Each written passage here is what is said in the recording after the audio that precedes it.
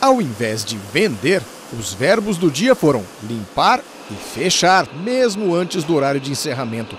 O Hélio ainda não contabilizou o prejuízo, mas já começou a reduzir as despesas. Dispensamos algum funcionário aí, mas não fizemos essa conta ainda não.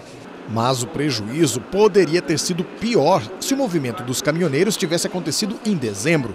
O clima de final de outono amenizou o impacto. Como está o tempo ainda fresco, né, então não madura. Graças a Deus, né? Porque se madurasse o prejuízo seria muito maior. Então a gente tem mercadoria no pé que ainda está esperando o tempo esquentar para poder amadurecer, então ainda dá para aguentar um pouco.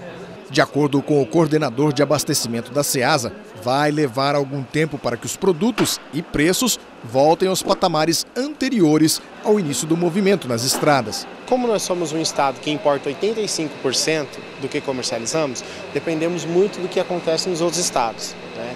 E com essa paralisação impactou em, em muito alguns produtos, como batata, cebola, tomate, que compõem a cesta. Outro problema enfrentado pelos comerciantes da Ceasa aqui de Campo Grande é de que além de que os caminhões não chegavam com os produtos, também os compradores deixaram de vir assustados com o desabastecimento. O cálculo é de que a redução na demanda tenha sido superior a 50%. O resultado é que mesmo produtos que tinham em estoque deixaram de ser vendidos, como é o caso das maçãs e das uvas. Não está vendendo porque tipo saiu na televisão alguns comentários que já tinha acabado todos os produtos da Ceasa e na verdade ainda está tendo sim, tem alguns produtos ainda tem. Por enquanto, os carrinhos circulam vazios, mas com o fim da semana próximo, apesar do feriado, a expectativa é de que prateleiras, carrinhos e caminhões voltem a circular carregados.